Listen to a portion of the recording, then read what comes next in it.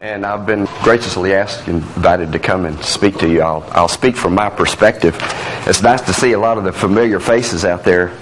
Uh, and uh, I'm just honored that you come to me for a dentist. You know who you are. and uh, if I say something I've already said to you, just try not to get too bored and I'll just talk to, like I'm talking to everybody else. Uh, I uh, I come all the way from Fort Worth, but I just follow this river and then a lot of freeways and end up over here. Uh, as far as what I am and what I do, i am uh, a dentist, I'm a naturopathic physician, I'm certified. I don't practice it, know, there's not a license for it in Texas. I just use it mostly so that I can get some perspective, so that I can help the people that need that kind of help or help steer them to other people that can help them. Um, uh, licensed massage therapist. That came from my activities uh, working with TMJ and structure. Had a lot of training at the uh, uh, College of Osteopathic Medicine there in Fort Worth in craniosacral work and structural things. And I've learned to appreciate so much the integral association of structure and everything in our body, whether it's physiological or TMJ, especially in my case.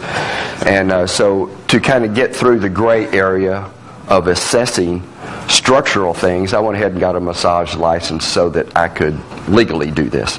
Um, Academy of General Dentistry, the uh, Academy of Craniofacial Pain, which has to do a lot with with uh, TMJ problems, head and neck and facial pain and sleep disorders, and then Academy of Pain Management. I've uh, been working, uh, been practicing actually about 33 years, uh, and the reason they still call it practice is because I still haven't got it right. So I don't have all the answers, and I'll be, I'll say that in a New York minute. A, a, New York minute is approximately point zero zero zero zero zero five seconds. It's the amount of time it takes the cab behind you to start honking when the light turns green. So that's how fast that I'll admit that I don't know everything. I don't know all the answers, but I will tell you all the answers that I do know, and I'll help steer you toward people that can have some answers if I don't know them. Okay, the tooth chart. I looked over there at something like 12 bucks. Did it used to be 35? It was worth it. When I bought it at 35, I'd do it again in, in a minute. Uh, it is the best. I've seen a lot of charts, all the way from Korean charts, Chinese charts, combination charts, uh, biological dentistry charts that have to do with the tooth, the teeth, and their correlation to the other thing in the body. Uh, without doubt, I can easily say this is the most comprehensive and the best chart that I've ever seen. In fact, I talked Dr. King into making a tablet so that I said, I will buy it. I will buy it. Just make a tablet so that I can have that on paper so when my patients come in, I can tear it off and give it to them. Uh, highlight the teeth that are problems with them. And he was gracious enough to do that. Give them to your clients. Give them to your family. Look at them over and over yourself. Okay.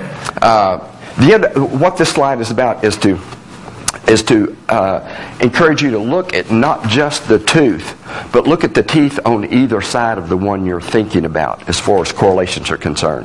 Because everybody's not the same. You can look around the room. We all have eyes, ears, and noses, but we look different. And our internal anatomy is different, and our energetic anatomy can be different. It's going to be close. I mean, most of our noses are right here in the middle. Okay?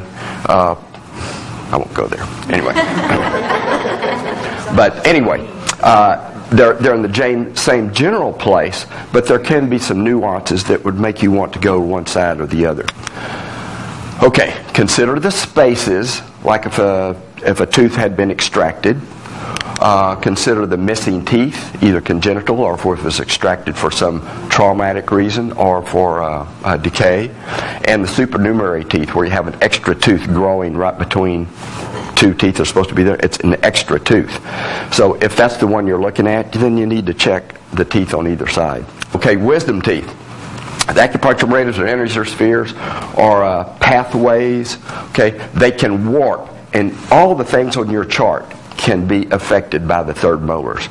It's like all bets are on, all bets are off. That the third molars, in fact, that might even be yeah, that's the next one, uh, because the acupuncture or the the uh, pathways can warp, and by that I mean look at these fingers like they're all going in the same direction, but if I twist them like this, then they're all right together. In fact, they maybe even go through the same point, or they may be in the same level or same area, but a different level, one superficial and one deep. So that's what can, can happen with all the pathways as they pass through the third molar or the wisdom tooth area. So that's kind of the, the wild card of the teeth. Um, what can cause the tooth to affect other parts of the body? Yes, sir. Um, just a question about the wisdom teeth in general. I mean, it seems like it's kind of a, just a foregone conclusion. We just pull them out when you get to a certain age. Are we I'm guessing that we're not supposed to have extra teeth. God put them there for a reason. So, what do you think? Because of lack of space, instead of the teeth coming in in line, they're coming in out outside, or the back teeth are coming in forward, or they're impacted because there's just not enough room. And when you think about what we are in the United States, of all places, we're a melting pot, a literal melting pot, a genetic melting pot. So if you've got a 6'4 Swede that marries a 5'2 Italian lady, and they get his teeth and her jaws, you just don't have enough room. Okay? So sometimes that just happens. It can also be affected by diet long term. And by that, you know, the sugary diet, the oh, Weston Price's studies. Okay. The things that can affect other parts of the body are tooth decay, traumatic bite, which means the teeth do not fit, they rather they bang each other, uh, infection, abscess, gum disease, metals, and diseased bone around the tooth which can come from a variety of reasons. Okay, these are just things that can affect other parts of the body. How would the tooth affect something else along that same pathway? And the other thing is that pathway can also affect the tooth. Now, I will say here that I don't believe that any tooth actually causes necessarily a decay, I mean, a, a disease. It can, but I don't think it necessarily always does. It can usually be, in my opinion, a contributor in that it interrupts the pathway. That pathway is made for energy to flow. And if it can't flow, it either impedes that pathway or it opens up and it flows too fast. Either way, it can affect. But that's uh, but the reason the teeth are important is if this doesn't get resolved, it's like having a barrier in the road. If that barrier's still there, the flow is interrupted. If the barrier is removed, then the stuff the other health uh, practitioners do starts working. It's not what I do. I'm just getting the impediments out of the way when I like fix a tooth. Amalgam fillings. Uh, you may have heard about uh, amalgam fillings being good or bad. Let me tell you the good thing before we get too much. I've had patients come in and say, How could that dentist have put in fillings in my mouth that have mercury and he knows mercury's a poison? Well, let me tell you, I don't believe any dentist has ever woken up in the morning and said, I think I'm going to stick this filling there so that lady will have a hard life or to poison her. He's doing what he was taught was the best thing, and he's doing it his way. And in his defense, the American Dental Association, many other organizations, are coming down and using the research that shows that it is safe. As we all know, especially Andrew and, and the academic world, we can make um, experiments show what we want them to end up showing by the way we collect the data and by the way we interpret the data. That includes even how you listen to me. So put a little filter on when you listen to me too. Does it make sense or not make sense? Okay. Ultimately, it's your responsibility. I'm telling you the way I see it. You filter it through your system. If you like it, use it. If you don't, shuck it and go do something else. But uh, we all ultimately have the responsibility to decide what we use and what we don't use. And that's the way we have to look at a dentist that has put these in. Not an ill meaning dentist, just doing what he's taught. Now, the facts amalgam fillings are about 50% mercury and 50% metal filings. These are just literally filings of different metals. And the metals are consist of copper, tin, silver, and zinc. They all have their different reasons. Some are for uh, uh, lack of expansion, to keep the expansion and contraction uh, limited. Some are to keep it from corroding quite as much. Some are to keep it, uh, make it a little bit stronger. But are, there's reasons for them being there. Now, this is just a uh, image of a neurotransmission, and is to illustrate the fact that mercury is indeed a neurotoxin. Does it kill us? Not, in, not enough in a mercury filling to kill us, but it's enough to be an immune suppressant. Each time we eat, uh, if we chew something, it doesn't have to be food. We could chew paraffin, which is wax. Okay, we could chew something. Anytime you have something hot in your mouth, anytime you have something that has acid, like lemon, uh, like um, jalapenos, and if you're from outside of Texas, Mexican food is a staple here. Okay, uh, anytime you have something acid, hot, or uh, chewing motion, it volatilizes the liquid of the rather the mercury that's in the fillings, and it's up. You inhale it, gets in your lungs, and gets in your body. Now, it doesn't kill us, obviously, but it's still an immune suppressant. So that's uh, uh, that's just it's, it's a brick we can unload. There's, when we try to get well, there's some things we can get rid of and some things we can't. Okay? I had knee surgery. I've got a titanium screw in one of my knees. Okay? The reason that the, that the physicians don't take them out anymore is because the bone literally grows all around that screw. And they realized the process of going there and removing the screw is more invasive than leaving it alone. Now, what if I can't handle titanium? Well, it's too late. Thing's stuck in there. And how would I know? Well, right now, what I would do is find somebody to help me make a homeopathic remedy to neutralize that because there's some things I'm never I can't ever I can't ever even if I got the screw out I can't ever make my knee be as if it had never been injured. The injury came and I've rehabilitated, but I'll never be as if it hadn't happened. So that's something I cannot uh, unload. I can unload the mercury in my mouth. So it's like the things that add up in our lives are like uh, a backpack full of bricks. If you want to get well, you get rid of the things you can get rid of, and you get strong enough to carry the things you cannot. Just my opinion. I'll try not to get too wound up on this stuff. Okay, here's where the mercury goes in the body. This is a, sorry if you're a PETA person, but animals can teach us so much. This poor sheep was going to die anyway. Okay, but what they did is they put some amalgam fillings in the sheep, had him live his life for 60 days, and then the poor fellow died. I don't know how. But anyway, they laid him on a photographic plate and just let him lay there for a while. And it, the uh, mercury fillings were tagged with radioactive elements. So wherever that uh, mercury went, it was the mercury that was tagged, wherever that went, exposed part of that plate. So it let us know where it went in his body. And you see the dark areas, it's a, it's a reverse x ray. The dark areas are the areas where it went. A lot in the gut, liver, kidneys, jaw. It also can work up into the brain, except there just wasn't enough in 60 days to show it. Okay, mercury can get into the fetus and it can get into breast milk. There's a, but this is just the research part of it. There's a high prevalence of mercury in fetal compartments, and they indicate there's a fetal transfer and there's fetal trapping. If you're a mom, you're eating a lot of jalapenos and you got a little baby in there, a baby's going to get some of it. Not the jalapenos, they get the mercury. Uh, the mercury concentration in mother's blood underestimates the degree and extent of fetal exposure. So if you take the mom and, and see if there's mercury in the blood, it won't show up near as much as if you get some tis- tissues from the uh, fetus. Now, the reason for this is the mercury is not in the blood long it goes to the cells. It's like being in space and, and looking at the United States at uh, 1 o'clock in the morning. Say, there's not that many cars. It's because they're all in the garage. If you got out during uh, rush hour, you'd see a lot of cars. Well, that's the way the mercury is. It goes into the cells and it stays there. It doesn't circulate much. So, to get an accurate reading of how much mercury you have in your system, the best idea is to do a challenge test where you use something like DMPS or some other drawing uh, chemical which draws it out of the cells, and then you do a, a urine test and see how much is excreted. So uh, it'll it'll rarely show up high in the blood.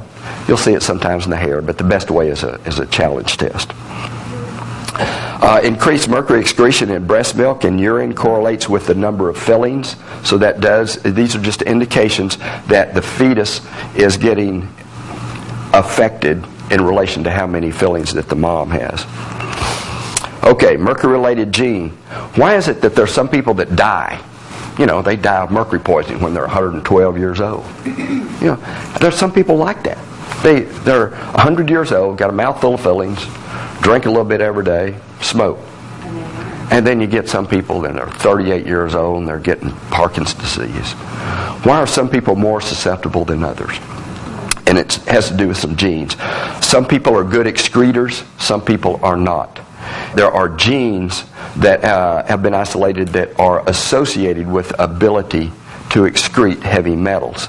It seems to be a little more prevalent in the Scandinavian populations. The problem is the, the people that do not have the genes. It's a recessive trait, and there seems to be more of them that are Scandinavians. So uh, it just means that there is a gene. So what do you do with that information? I mean, what if you're Scandinavian? You go roll up and die? No, you just deal with that. But the, the point of that is finding the fact that there is a gene that relates to that, and it helps answer the question, why does it affect some of us more than others? If we can excrete more, we get it excreted. If we can't, it piles up, and then it affects us more. Okay, galvanic response. That's where you have dissimilar metals. What you see there, that's a battery. Okay, in the car, the battery is sulfuric acid, which is an electrolyte. You have dissimilar metals, two different kinds copper and zinc. Um, and what happens is when you have dissimilar metals in an electrolyte, it causes an ion flow. The ions literally go from here and up and around. It makes a circle, but you don't have as many left over because it lights up that light bulb first. Okay, in our bodies. Uh, the electrolyte would be our saliva. The dissimilar metals would be a gold crown and an amalgam filling. Or an amalgam filling done this year, another one done the next year, and it's a different brand and has slightly different percentages of components. Now, what can happen at that? At best, nothing. At worst, maybe you can pick up a radio station. I mean, it's happened. but that has to do more with frequencies. But what it does do is cause a transfer of ions. Now, it's not like an ion exchange. It's not like me going across the room. It's like you being hand to hand with you and you and you, and somebody bumps this hand and the impulse goes to the other end. It's kind of an ion exchange. Bump, bump, bump, bump, bump. And the ion goes from that end. But all they've really done is just kind of transfer to the next orbit. Okay, so I know you're interested in all that stuff. The problem with the galvanic response is it just increases the opportunity or the uh, proclivity toward uh, an amalgam releasing some of the ions, especially in the, especially in mercury. Okay, this is a picture. This that's where a crown was taken off, and that's an amalgam filling that was underneath the crown. Okay, there's the crown, there's the filling underneath it. Now, there, what you have is a metal coping, which has a gold content, which might be high, it might be low, but it might have mostly base metals, it might have mostly precious metals. Either way, it's always an alloy. Gold all by itself is too soft to use as a crown. So, the hardeners in the crown can be a problem. The, uh, the base metals, you might have beryllium, which is used industrially to make the blades for turbines and jet engines. It's good hard metal and it's light and it bonds to the porcelain very well. Problem is it's very toxic. If you're a lab man, you have to deal with them. You have to wear kind of a gas mask. Uh, so it's not good if it's in your body either. Uh, the uh, other ones, there's a combination of uh, copper and cadmium, if they're together, they can be very sensitizing, much the same as if it has nickel in it, which is also used as a hardener. Now, nickel can be, uh, that's what's used in, in uh, metal to uh, make it shiny, make chrome, make stainless steel, uh, stainless. Uh, it, it's sometimes it's in the cheap jewelry. Some people can't wear rings because it turns their finger black, and, just, and and some people are like that in their gums. It can actually irritate them just because of the metal. Um, but if you have one metal sitting on top of metal, another metal, then you have an instant galvanic response, as if I was uh, explaining the other day, a while ago. And if right here you can actually go through the tubules and get those ions streaming down through here, then get in the nervous system, and it's a pretty short trip from the teeth up to the brain. Can happen. Stortemeyer, Stortebecker, who is a neurologist out of Sweden, did some studies showing the heavy metal going from uh, mercury actually to the brain. Okay, another example. This is a gold crown an amalgam filling, an amalgam filling. There's the gold crown and the first amalgam filling there. Now, there's another thing. These two are touching each other. It's an instant galvanic response. This is a uh, porcelain veneer crown, so it has a different kind of metal here than this gold crown. This gold crown chews and hits against this tooth and this tooth, so you get the galvanic response going there too. So this every time this person chews, man, we got electrons scooting out, ions rather. Okay, next one, another example. Two crowns of different metals next to each other and against each other is what I was just showing. Uh, different metals in the same mouth, what I was just showing, just another example of it. And an amalgam under a composite.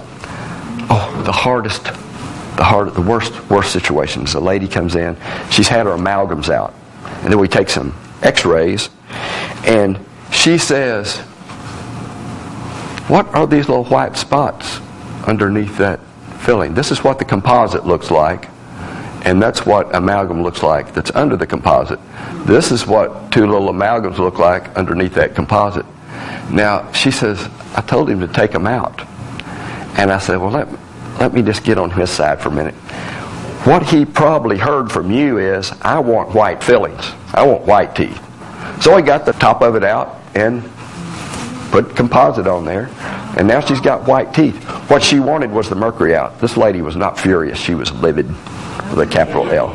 It, but it's okay now. Everything's okay. This is just a picture of me. T- I took out some of the composite, and at the bottom, you could see the little pieces of amalgam in there. And they're right next to the tubules that go to the pulp that can get into the bloodstream. So it still can, it still happens because you get a constant flow in there. Um, is it, I mean, is that a problem? Yeah, but it's fixable. Okay? When your problems are like, I, I tell people so many times, your problems are like math problems. They have solutions. Okay? Some of them are hard ones. They're hard to work. I can't work them all. But some of them aren't as hard as others. So we work the easy ones, then we start working on the harder ones. So most of our problems are fixable. So if they are, then don't don't get into those emotions over here like me and Glenn. My favorite color is green. Oh man. I don't want to be angry, and I'm mad about having green in there. but I like blue too. That's supposed to be peaceful like the ocean. Okay, anyway, I told you I'd get off base. All right, let's see. An amalgam tattoo. That is where, in the process of a uh, filling being put in, a mercury filling, a little bit of it gets into the gums. The gums get kind of scuffed up or something, and the, the amalgam gets into the gums, and it's just literally a tattoo. That's the way a tattoo's made. They put ink, they prick it, ink gets in there, and it stays underneath the skin, so it colors it. Well, we can use a laser to go in there and just obliterate it we have suction going so it gets the fumes out of there. But uh, it just obliterates it and then the gum grows back nice and pink and firm. That's the part. Can be removed and treated with laser. Okay. Proper removal of mercury is important. First, we want to cover the airways. And that's we use a rubber dam. That's just that little latex shield, and nothing sticks through but the tooth. So it keeps you from getting stuff down in your throat, or at least it minimizes it. Nothing's perfect, but you want to minimize it as much as possible. We also use a little oxygen hood uh, that's, or cleanup. That's just a little uh, thing that has a high-powered suction that fits around the tooth. Sometimes you just can't get a rubber dam on. Some people choke or they have claustrophobia and they say, sorry, I just can't stand it. Yeah. I gag too much. So you say, okay. And you put the suction right next to it and just suck the pudding out of it. I mean, it's just, we use a real high-powered suction, so it just gets the fumes out of there. Uh, in the office, we have uh, a lot of filtration going, different kinds of things, uh, high speed evacuation. Chlorella is a. Uh, anybody ever heard of chlorella? It's a bacteria, or rather a, an algae, and the uh, the cell walls of the of the algae are really what you have in your capsule. It's used industrially. They uh, uh, a played out gold mine. Okay, uh, they'll uh, flood it with water and put chlorella in it and let the algae just proliferate. A few months later, they come in there and pump it all out and then that algae dies, and the cell walls of that algae have uh, bonded to the little bitty pieces and, of uh, uh, heavy metal that's left. Some of it's mercury, some of it's gold. A lot of times the metal's kind of go together. So anyway, the uh, cell walls are what is in that chlorella, and, we, we rinse that. We make a little paste and kind of rinse around the teeth with it. Yes, sir. I know you do that, but is that uh, standard training for biological dentist? Some. Everybody's got their own little routine. Okay. Used to not be mine until I thought, oh, we could do that. Instead of rinsing, tell them to rinse, stop in the middle of it and have them rinse. I think I'm just going to paint it on there. I get a real thick paste and paint it on there and then rinse it out. The intent, again, is to minimize exposure. Oh, the other thing, we put an oxygen hood so we cover the other breathing hole. Make sure they get good fresh oxygen while we're doing this. Okay, if you're breastfeeding, uh, what we tell them is to pump prior to removal and then dump the next few days. For the first two, the, for two, three days before you come in, you pump the breast milk, uh, put it in the freezer, however you do it, and then after the procedure, pump it and just throw it away and feed them what's in the refrigerator. And you say, well, they have to eat half, oh, they on half ration? Well, mix it with something or feed them something else. Hey, they're going to live, I can tell you. Those rascals, they'll live. Was, uh, you know, there's one thing that the hospitals say that you're going to get my opinion now. There's nothing wrong with a young infant having a little bit of clean water. And so you can also go and get some pediatric apple juice, uh, mix that with half of pure water, and you can mix that. So you can use some other things that the child actually needs to help cleanse the system and help, help the bowels and everything. And they'll get their milk also. Thank you. Now I'm going to use that. See, that's what I do. I learn so many things from you, your patients, and then the next person that comes in, I'll tell them that, and they think I knew it. So, that- that's- yes, ma'am.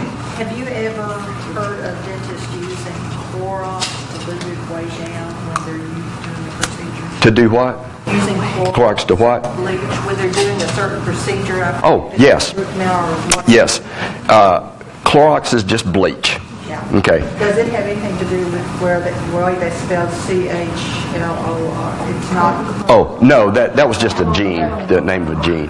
No, but uh, Clorox uh,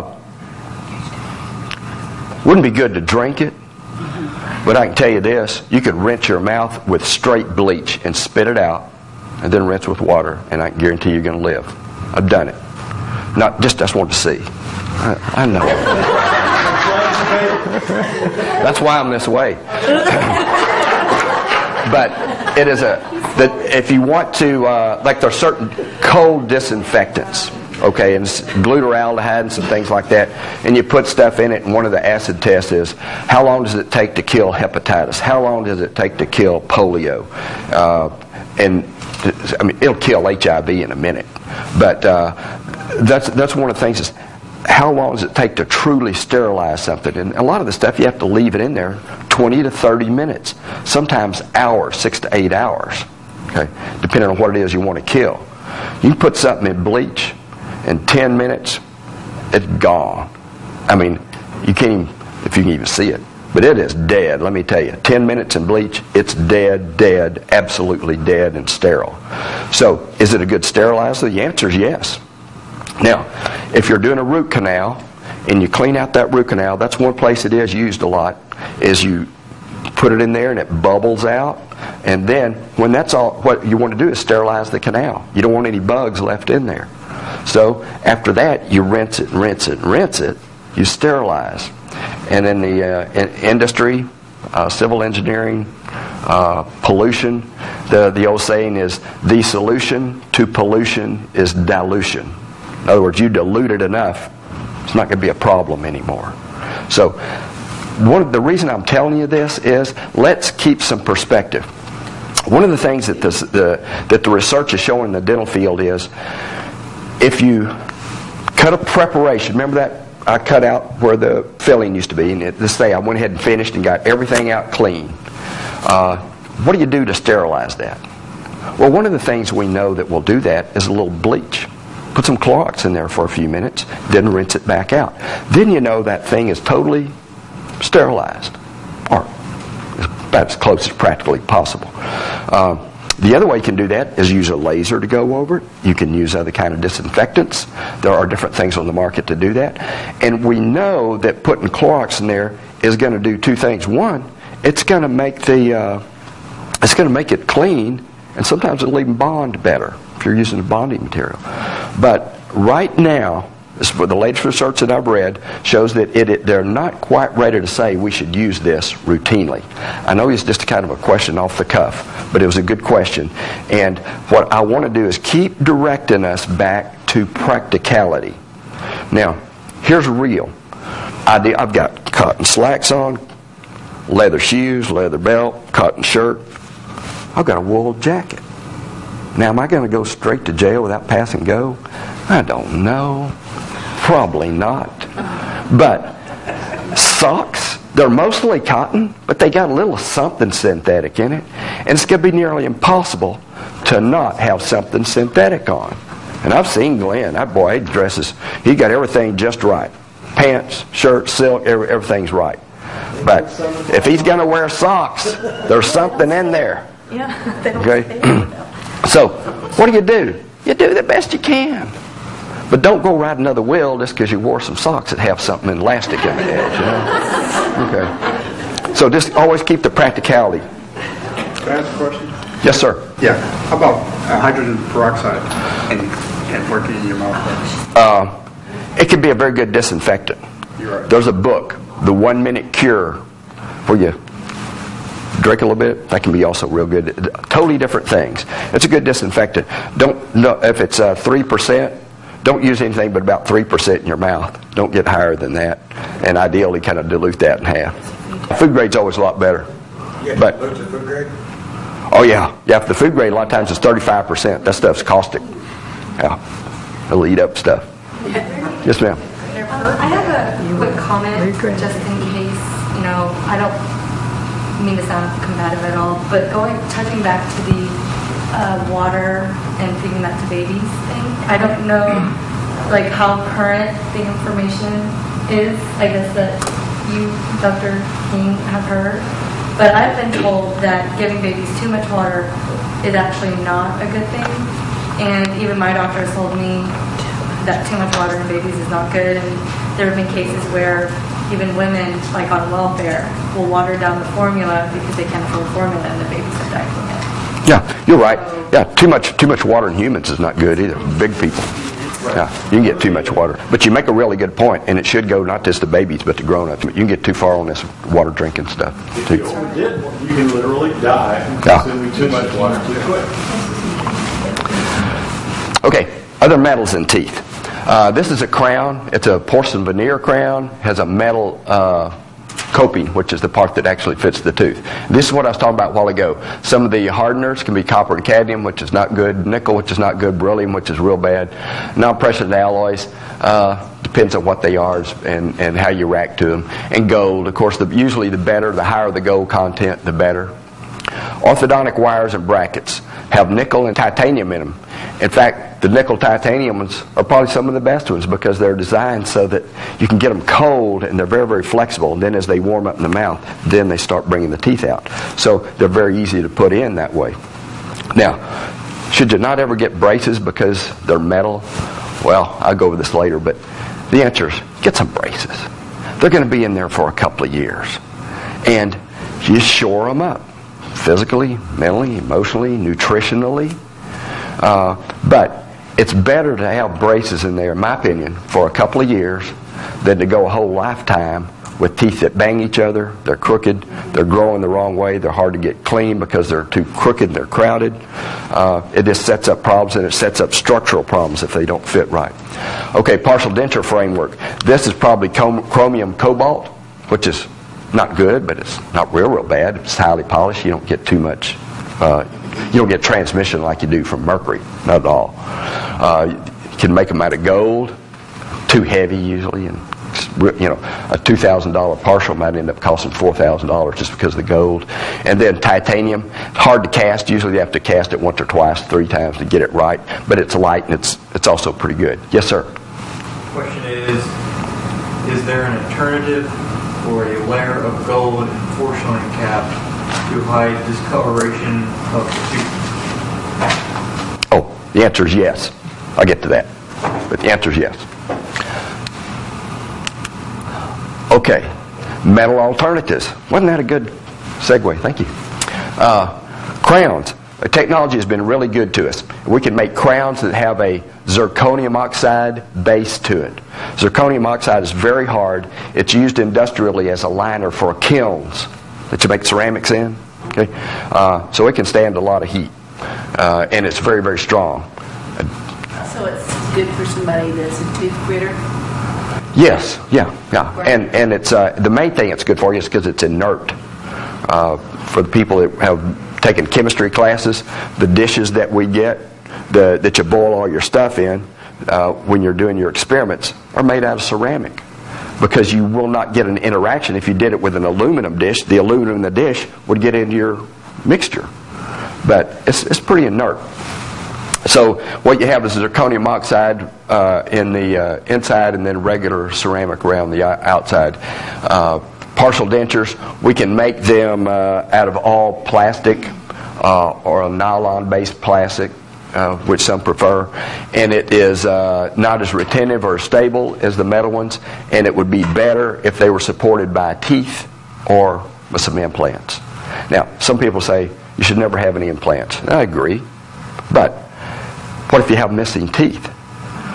Well, I've got a missing front tooth on my top. And I've got some spaces up there, so if I had a bridge, I'd have a big fat tooth in the middle, and I'd have to cross the midline. This tooth and then this tooth over here. I've got a very weak tooth trying to hold up, which would be one of two teeth holding it for three.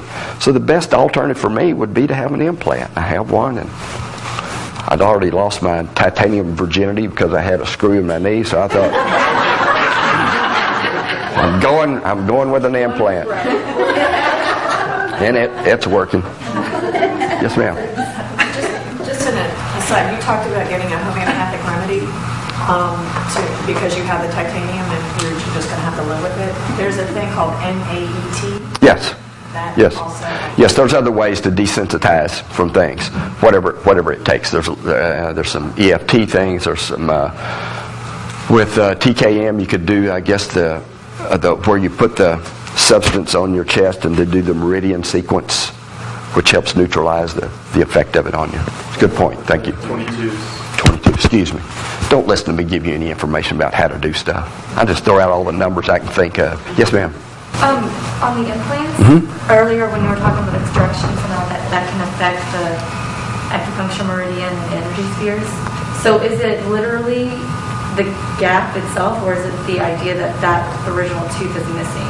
It could be, Like, it- yeah, it could be, yeah.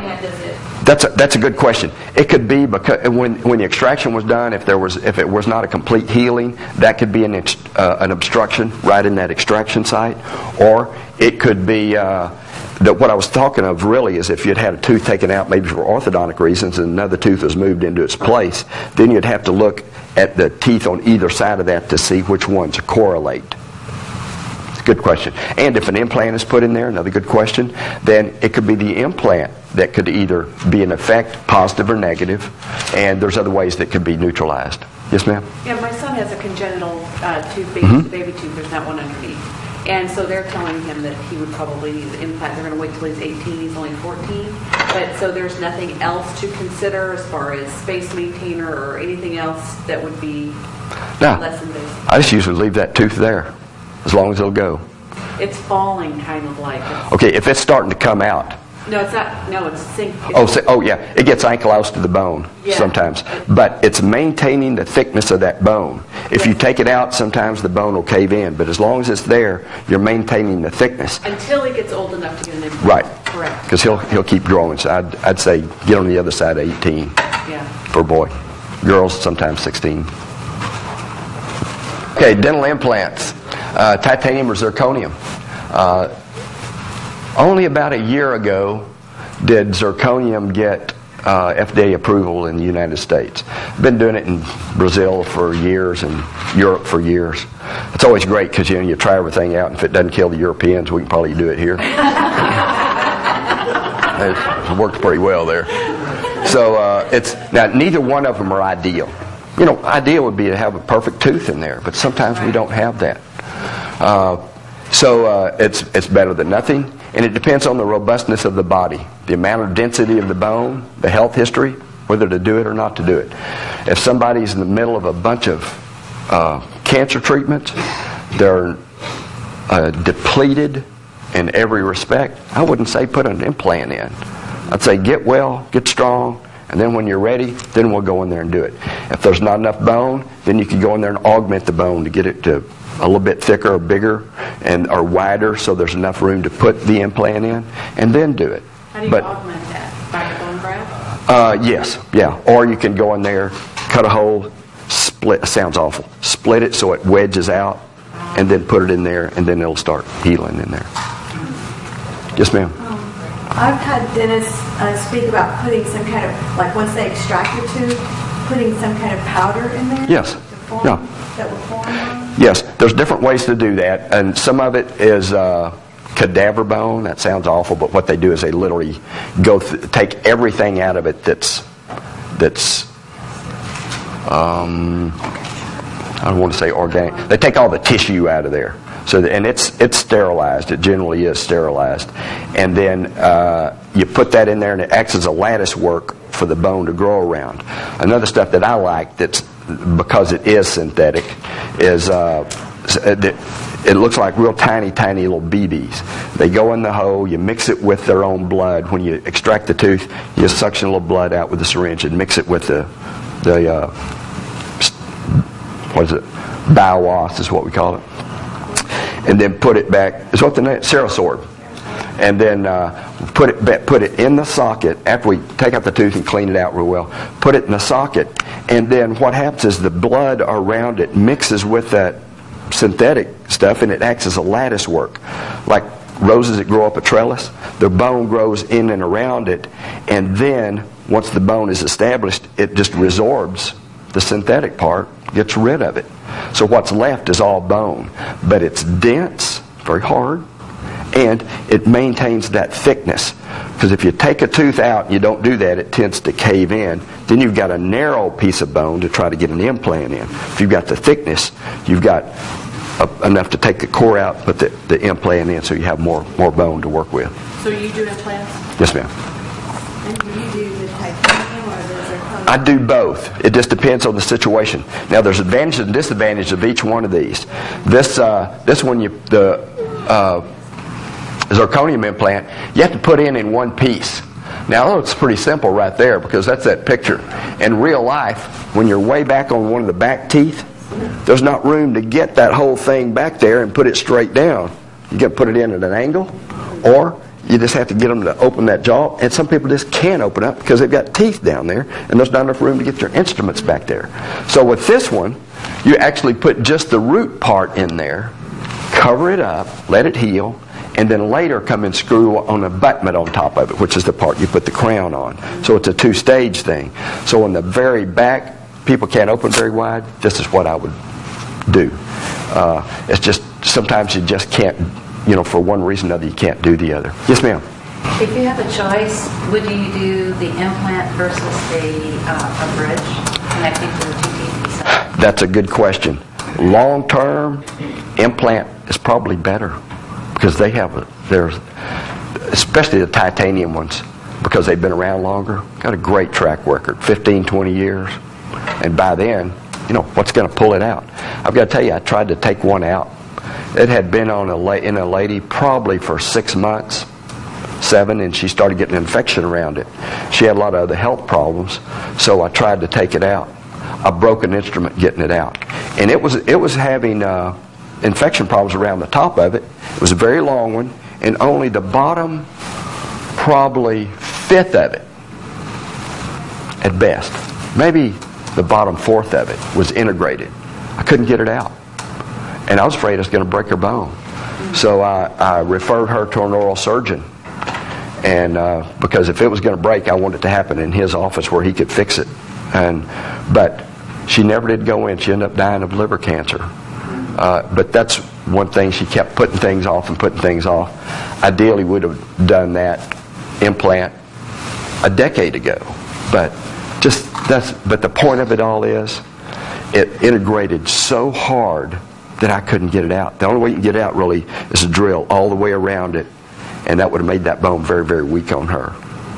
So uh, uh, they, the, the point is that it can integrate so well that uh, they're, it's, it's hard for them to fail unless you just totally abuse them. Uh, a bridge, you have two teeth holding up for three. So it's harder on each one of these, and it depends on where it is. Uh, this tooth, the third one from the front, is one of the very strongest teeth in your head. When you, uh, it's a canine. When you, uh, if you ever see somebody that just has one tooth or two teeth, those are usually the ones. Either this one or the uh, Those suckers are strong. Now, if that tooth is missing, you have to bridge between this bicuspid and this lateral, which is the second tooth. That second tooth is one of the weakest teeth in your head. So I wouldn't want to have to hold on to that because this baby's made to take a lot of force up and down and sideways. And it would really stress out this other tooth up here. So we might end up losing it for bridging it. So that on that tooth, that'd be a great one to put a big implant in. Easy to get to, easy to get one of these kinds of implant in. Well, not easy, but a lot easier than the back. Okay. I'll keep going. Oh, look at that. This makes you want to look at that, doesn't it? Okay. The thing to remember, nothing is perfect and nothing is permanent. So even the, all of us dentists with the best of our intentions, what we do is not perfect. And what I'm telling you today is not perfect. If you heard me again a month from now, I might be able to tell you something better. I hope I just keep trying. That's, again, like I say, it's why they call it a practice. I'm just trying to get better every day.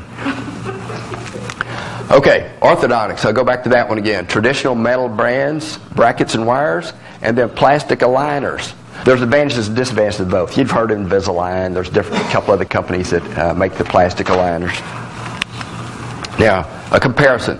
Traditional orthodontics have wires and brackets. The clear orthodontics use clear plastic aligners. There's a broad range of orthodontic therapy that uh, the orthodontics will do. And uh, this is, of course, a, an advertisement. Part it came from an advertisement to do these. But it says it's most suitable for patients with limited needs. And if you don't have far to go, if you don't have a really hard case, it's usually going to work pretty well. I've done some on some very, very hard cases, and they didn't work very well. But it was better than nothing because a couple of these young men that I did this on, if we hadn't used the, the Invisalign, they wouldn't have had it done. They would not have had it done. And they were a lot better when we finished than when we started. But as you might imagine, a lot of us dentists are OCD, HDAD, whatever it is. Uh, but, you know, we want everything to be perfect. And with, uh, with a filling, it's like I can usually win that one. You know, you get the decay out, put a filling in. It's like I won that one. With braces, you can't always make a move right where you want to. And sometimes when you get through, you turn your back and they relapse. You know, and it's crazy. Some people take their braces off, never wear a retainer, and it never moves a bit. Other people, by the next morning, it's like halfway back to where it came from. The retainer will hardly go back on. So, in the orthodontics, usually we're thinking permanent retention. Wear these retainers for the rest of your life.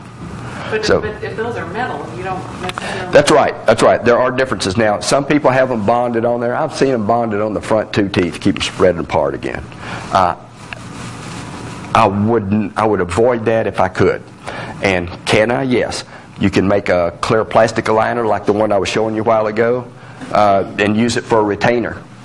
And they wear out, and you have to get another one made. But you still don't have something stuck in there that's permanent and that's, that's metal. Yes, ma'am. Um, Would you recommend then, uh, my, my daughter-in-law had that when she was a kid, she had braces and her parents had the permanent retainer behind her front Mhm. teeth, and now one of her front teeth is literally dying from resorption, they call it, the, where the gum is actually growing down inside the tooth, and she's looking at having to have an implant or something done like that about that now. And she still has that wire there, and the first thing I said when I realized that that was it, is got- you've got to get that wire out of there, that's what the problem is. And, um, she, you know, so now she's got to get that removed and do something with the tooth. After that, though, would you recommend her getting a, a, a plastic retainer made? Uh, yes. Something But she's like- ultimately, she's still going to have to have that tooth extracted because it's going to deteriorate. Just- yeah. But then after that will be the retention. Okay. I'll quit loitering here. Uh, anyway, Okay, suitable. Uh, the, the, if I had a complicated case, a difficult case, uh, the, the wires and brackets are the best way to go. Uh, when it gets real close, if you say, I want these off, you might finish up with, with the uh, aligners. But you can't get as much control with the aligners as you can with a bracket as far as tiny specific movements. Okay, uh, elect- electromagnetic fields. The um, galvanic response it can help set up electromagnetic fields. You can also uh, uh, Dr. King will probably talk about this and some other things. You, electromagnetic fields can affect different parts of your body, and your teeth can be subject to that, and they can actually make that worse. Uh, metal in your mouth can getting it out can make it a little bit better. Okay, root canals. What are they? Essentially, it's a long glorified filling that goes all the way down into the nerves. It's all cleaned out, and then you put something inert in there it doesn't really matter so much what you fill it with. What's important is what is it sealed with. And did you get it sterilized? Did you get it cleaned? Uh, what I would do, I don't do root canals. If I did one, what I would do is go in there with a laser and use that to help sterilize. And then I would go in there with ozonated water, which would kill uh, everything.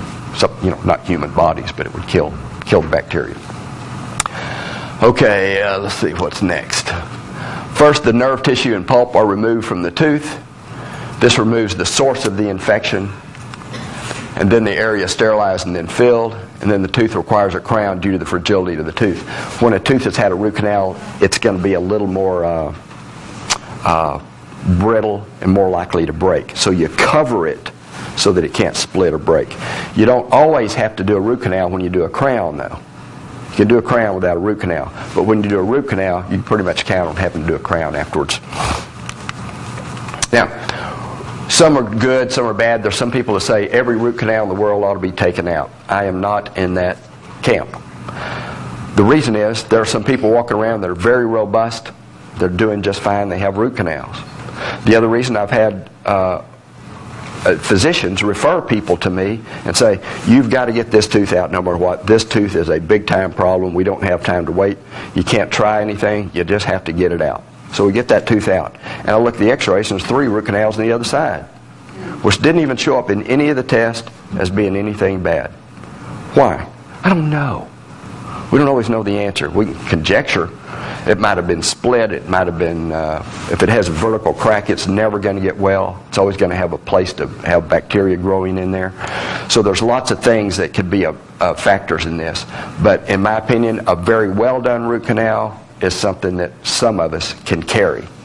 Where I start getting to the camp that says we need to get it out is if you have autoimmune diseases, a history of malignancies, you're in the middle of cancer treatment, something like that, you fight for your life, you don't have time to piddle with stuff, get out the question marks. And then, when they get well and good, then you start thinking in terms of what do you do to replace it permanently. Okay, cavitations. Everybody ever heard of that? This is like the this. Uh, it's a it's a cavity or a hole in the or in the porous uh, chamber within the bone. It's also known as Nico lesions. They can be hollow, full of partially filled with old blood, fat, residues of socket dressings. Like, they're just real variable. They're mostly, uh, mostly we uh, uh, find them in the orthopedics, find them in the hips, knees, long bones, but also the jaws. Cavitations are found by, and none of these is totally reliable on its own. Uh, there's a, okay, history, x-rays, uh, cone beam imaging, which is another x-ray, MRIs. A lot of times they will not show up on x-rays because you have to have 30 to 50% of the bone destroyed before it'll show up on an x-ray. Unless it's real, real, real bad, might not show up. So they're, they're difficult to diagnose. Okay, the cause again, unknown. There could be a variety of reasons, all the way from trauma to uh, infection. Uh, when a tooth was extracted, person might have been exposed to some kind of a virus or something. It found a weakness. It landed in that area. It uh, did not fully resolve, but it didn't get so bad that it made a fomenting infection. So it's just kind of a standoff. But it ends up being a uh, barrier to the uh, pathway or the acupuncture meridian, however you want to say that. Okay, cavitation, in the second and third molar area. This is a cadaver. I dissected, I cut it right here. I made a split like this and then folded it open. And it doesn't show up real. It's just kind of brown right there. It just not look doesn't look like good bone. This is relatively good bone. That is not. Okay, this is a, a section underneath a an extracted tooth. Okay, right? It's extracted. This is an extracted tooth that has a bridge. I cut a little section out and then turned it around like this. And you can see here, that's where the nerve goes through. And uh, it should just be a tunnel, just a little tunnel where you have the nerve and blood vessels going through it. This part is right underneath the part that was extracted. It's all full of, full of mushy fat. It's okay to have fat in the bone marrow, but not that much. It should be good bone in there. So that's what one looks like. You can see just a little bit of a dark area right there. When a, when a patient is embalmed, when they die, the uh, embalming fluid goes through all the vessels and should soak into everything. It did not soak into that little dark area there, which means it's necrotic, it's dead, but it didn't get any blood flow to it. And that was the problem. So that's just a small cavitation right there. This is a real one. I just opened it up and doing surgery on it and that is where I, all I did was open up the bone. You can see it's hollow. You can see just a little bit of blood down there pooling in there, but we'd rinsed that with water. But it, uh, anyway, it's just a hole. Wasn't anything dead in there, just nothing there. Totally nothing. They're all just different. And what do you do to treat them? You treat them with laser. You use homeopathic injections, surgery where you open, cure it, irrigate it, disinfect it, and then fill it in with bone, maybe, maybe not. Close it. That's the surgery part uh, ozone. You can actually inject ozone or, or treat it later with ozonated water. Uh, treat it externally with ozonated olive oil, not, not inside the socket. Uh, neurotherapy, TKM, or a combination. I usually throw everything I can at it. The remedies. Remedies for mercury, get the mercury out and detoxify. For metals, use non-metal restorations. Electromagnetic fields, metal removal, environmental changes. Like you're sleeping right next to an alarm clock, change it out to a battery clock. Uh, don't sleep next to anything that's plugged in. If you have a lamp, scoot it over. Get one of those clamp things that turns it off and on. Uh, remedies for root canals. Uh, gemstones are homeopathic. If a root canal shows up bad, you extract the tooth. Uh, you can put some gemstones in there, which will kind of neutralize the frequency. Everything has a frequency about it. If uh, the frequency is bad for you, you can find another gemstone that has a frequency that's the opposite so that they at least neutralize each other. It doesn't fix it, it just keeps it, it just neutralizes the barrier, so to speak. Can do that with implants. Uh, and then for cavitations, you can do surgery, neurotherapy, laser, uh, surgery, or ozone treatment. Actually, inject ozone in there sometimes. The ozone, it's gas, which will end up killing bacteria, and then it breaks down very quickly into oxygen. Ozone is O3. It's three. It's a triplet of oxygen, and uh, oxygen is as we breathe is O2 which is a couplet. So the triplets get two triplets and they break down immediately into three doublets, okay, or twins. Okay, so first it goes in there as an ozone molecule, kills bacteria, quickly breaks down, and it hyperoxygenates the tissues. Vestibular ocular integration. I knew you were wondering about this when the day started. Uh, this has to do with, uh, well, I'll just read it. It's, uh, it uh, refers to the integration of the eyes, ears, and the motor response to where one is in space. It requires the simultaneous coordination of three cranial nerves, which are 3, 4, and 6. They're the ones that operate the eyes. And then cranial nerve 8, which is for the semicircular canals in the middle ear. What does that have to do with me? Is I do a lot of work with TMJ. The TM, the jaw joint is right next to the middle ears.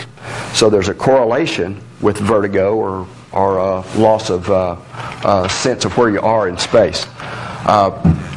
It's affected by, among other things, the occlusion, which is the, the, bite, the way the teeth fit together, head posture, body structure mechanics, and the health of the ears, eyes, and cranial nerves. Vertigo happens when there's a disconnection between what's being seen and what is otherwise sensed with the body. About 80% of our sensory input regarding our position comes through our eyes. That leaves the other 20% to be divided between what affects our ears and balance, and what is sensed through our joints, muscles, and connective tissue. If you think about it, when I'm standing here, if I close my eyes, how do I know where I am? It's because I can sense what's coming through me through gravity, through my joints, my muscles. Okay? Now, what if there's a disconnection? And that's only 20% of it. If I close my eyes, I'm knocking off 80% of what I usually use. So, one good test, you know, the sobriety test, when they say close your eyes and stand on one foot, it's hard to do that when you're not drunk. That's right. Right? Try it. Okay? And that lets you know how much you're dependent on your eyes. And if you're nervous, I'm Oh. Okay. Now, weight distribution affects, now this is my perspective as a dentist now. What does it have to do with the rest of your body? Your weight distribution affects the proprioceptive input to the brain regarding our orientation. Proprioception, that's how you know where you are. If I close my eyes, how do I know my arm is up or down? How do I know? I can't see it. And uh, you know, I'm feeling it with my jacket, but what if I didn't have a shirt on? I could still tell. How? Because of the difference in tension in the different ligaments and muscles. There are little receptors called proprioceptors. They stretch and move. So they give me an idea. It goes to my brain and tells me there's less stretching here, more stretching down here. So it must be up. So it does all those calculations. Now, if I, if you put two scales end to end, head to head, and stand on them both, have somebody look straight ahead, somebody read the scales, they're going to weigh differently. If I weigh 150 pounds, I'm not going to have 75 on one and 75 on the other. There's going to be a discrepancy. Now, if I put a cotton roll in one side of my mouth, it changes. Usually, if you put it in the heavy side, it'll start balancing out. Okay? If point is, your bite can affect your weight distribution, and your weight distribution can affect your bite, uh, and vice versa. Now, piezoelectric stu- uh, effects. I promise it won't go on forever. Uh, collagen, well, let's see, let's read that. Certain substances, if deformed, will emit a current of electricity. The collagen in your connective tissue is like that. Okay. Conversely, an electric current applied to this material will cause a deformation or take a distorted shape back to its original. In uh, industry, an example is an airbag activation in automobiles. How does that airbag know to deploy? With the concussion of a crash, a piezoelectric uh, device sends a current that releases the uh, bag. Now, that is why some of your TKM stuff works, is because when you touch something, you affect it electrically. So your, your connective tissue can, can pass a current. Remember, like my example, if everybody went edge to edge, stiff arms, bumps my arm, his arm, and so forth, we could send an impulse from that wall to that wall this fast. Where, where if I tried to run that fast, it'd be much slower. So through the fascia, you can get very, very fast electrical uh, transmission. So when you do TKM, you're touching someone, it affects it. It affects movement, it affects change in the tissues. Uh, collagen has a piezoelectric properties. Collagen is the primary constituent of fascia and connective tissue. That's what it looks like. It can be tough. How can TKM affect some of the things it does? This just seems like it's amazing. Why?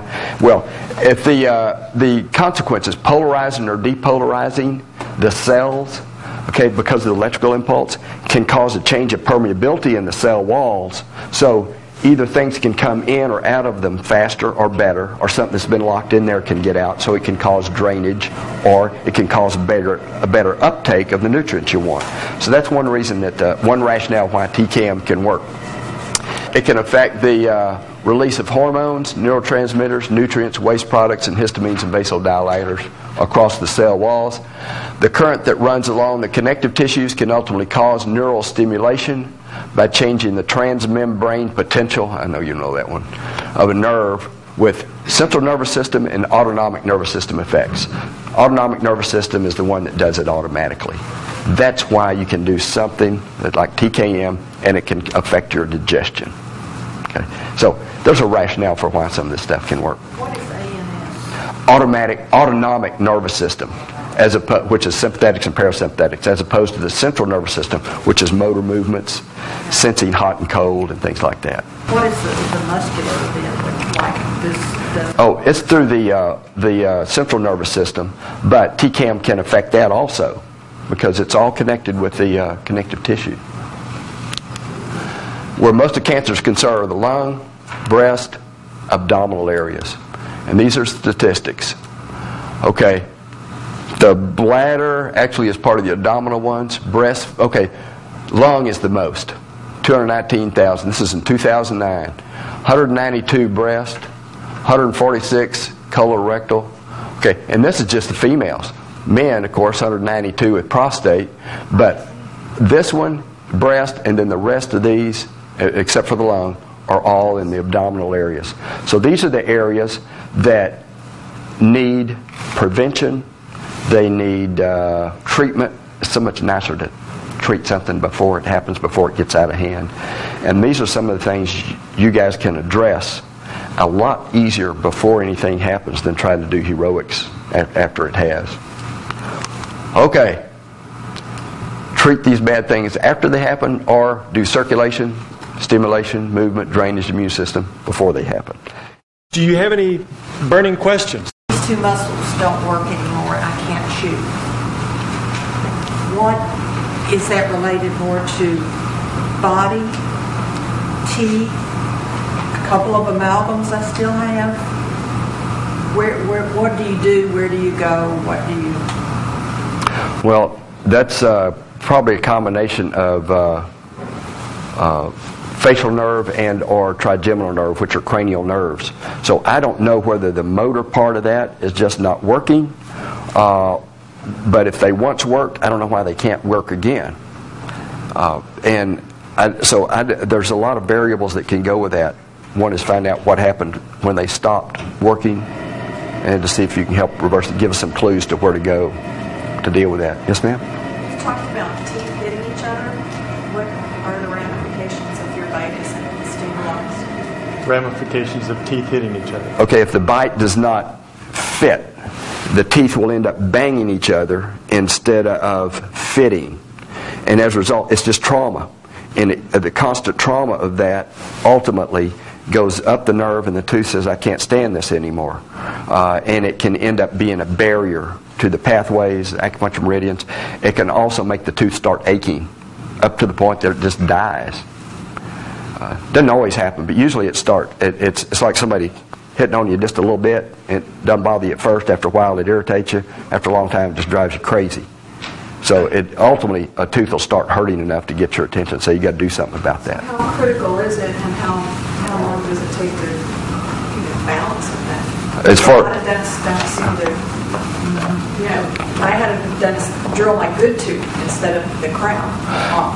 Uh, Uh, okay, she said a dentist once ground off part of a good tooth instead of a crown. Sometimes when a tooth has been going down or breaking, then the other tooth below it grows up into that space. It doesn't grow like a weed, it just erupts a little more. And we're talking about fractions of a millimeter, not much. Sometimes it's better to take the lower one off if there's plenty of tooth structure there and you've already taken away quite a bit of tooth structure on the tooth you made a crown on. So uh, and it depends on what the crown's made of. If you have much, if you have plenty of crown left, you take it off. But the idea is to get it balanced. It just depends on which way is interfering. Is it that bottom tooth that's interfering, or is it the crown? A lot of times the crowns come back made ideal. If the lower tooth is the one that's natural tooth, but it's not ideal, actually probably better to recontour the lower one, as long as you're you know within limits. Yes, ma'am. I've had a, sorry, I've had a tooth extraction, and it's like second to last molar on my left because I had an abscess and a lot of. Would you recommend just leaving a hole? Because that's what I've got right now. I've got a hole, uh, or having an implant, or what? I guess. Yeah, ideally, probably an implant. Next, next, probably a bridge. You could always leave it there, uh, but in the long term, the teeth will drift, and then the tooth above the hole kind of comes down, and then you start getting more of the traumatic bite, where it doesn't fit right, or it, or it interferes when you go left and right. And I'll quit. Thank you.